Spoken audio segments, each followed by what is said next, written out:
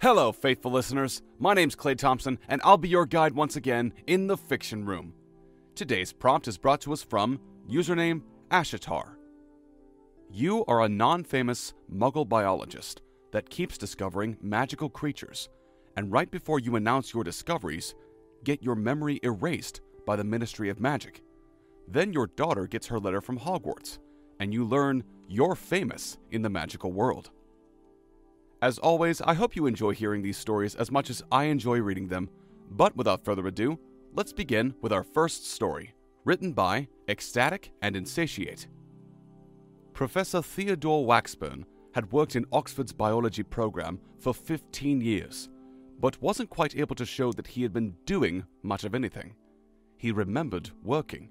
He had years and years of scribbled notes in his file folders that could prove it but his major papers seemed to come in spurts.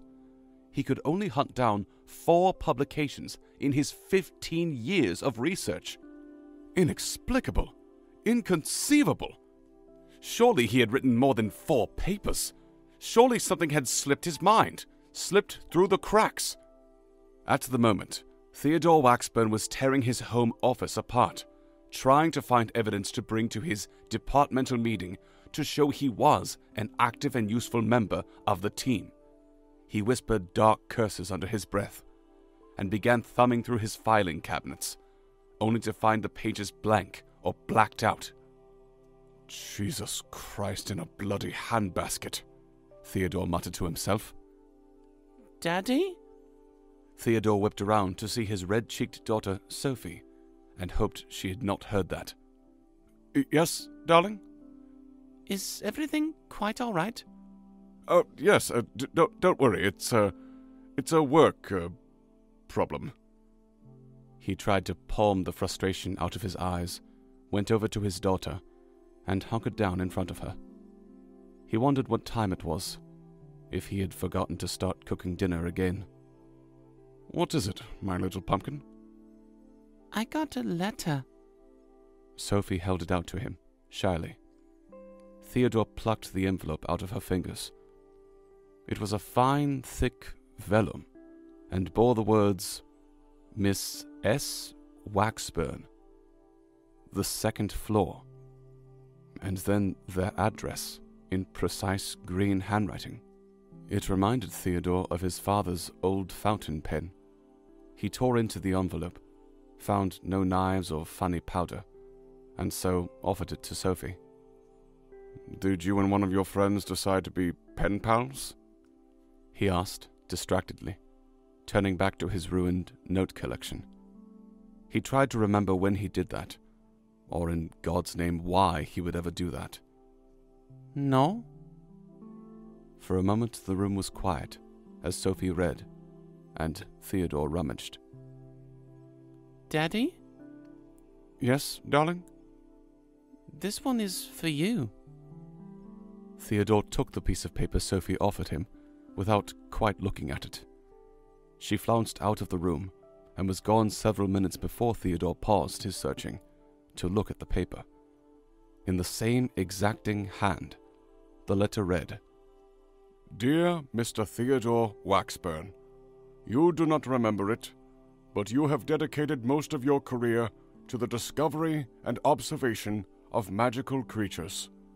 Now that Sophie has been accepted into Hogwarts, I feel the freedom to disclose to you the truth of your life.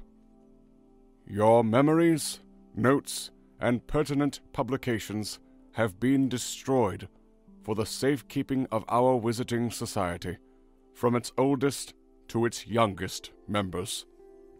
We have found in the past that we cannot trust the non magical world to maintain the integrity and agency of our magical creatures, human or otherwise. In their greed to understand, muggles tend to destroy, change, and consume. Please do not take this observation personally. I apologize for the professional inconvenience imposed upon you by the demands of our society. You must understand that for the safety of all of our citizens, we must maintain absolute secrecy and conceal the magic world from humans in its totality. If it is of any consolation, your findings have been recorded in the Waxburn's Guide to Magical Creatures, a Muggle reader. Your work has allowed more wizards to realize that the only thing separating wizards from muggles is not intellect or ability, but merely the knowledge of the small magic hiding all around us. Please find a copy enclosed. Though do keep it secret, I am committing a not so minor crime by sharing it with you. Yours sincerely, Professor Albus Dumbledore, Headmaster. Theodore read it over and over again, scrambling for some way to explain this. Occam's razor. This was a joke. This was a project from Sophie's school. This was a gift in one of her books or something. Theodore Waxburn poked his head into the kitchen, where his daughter was putting on a kettle for some tea. Sophie, darling, he said. What's this? It's your letter. I got one too. Sophie offered him her letter, grinning delightedly. I get to be a real witch! There's no such thing as a real witch, Theodore chided her, skimming her letter, paling. The same handwriting, same paper. We are pleased to inform you that you have a place at Hogwarts School of Witchcraft and Wizardry. Oh, and the owl has a package for you outside. The owl? Yes, the one who brought the letters. Sophie said, like it should be rather self explanatory. It's your package. I can't give it to anyone but you. Theodore yanked open the door to the back garden to find a huge barn owl sitting on his bird feeder with a paper covered parcel resting beneath its talons. He crept over to it, slowly, trying not to think about those talons on his head, or arms, or face. Hi, birdie, he said lamely. You're very big, aren't you? The owl fixed him with a bright eyed, eviscerating look, as if mocking him for not knowing how to speak to it, and then spread its enormous wings and took to the sky. The packaging on the book had the same clear, crisp, green handwriting, smudged only a little by the bird's feet. Theodore unwrapped it with shaking hands and stared at the ebony cover for several long, loving seconds. Despite the impossibility of it all, there it was Waxburn's Guide to Magical Creatures, a Muggle Reader. A book. A real book, with his name on it. Theodore grinned like a child at Christmas. Perhaps these fifteen years had not been such a waste after all. after all, he had always wanted to publish a book. I was really excited for this one because I saw the name Ecstatic and Insatiate, and every single time I see their name pop up, the stories they write are always good. Just indescribably good. I can't even describe how much I love this. Just wow. Very nice job. Very in line with the Harry Potter world and lore. And, well, that's all I can say without gushing. So, well done. Very well done.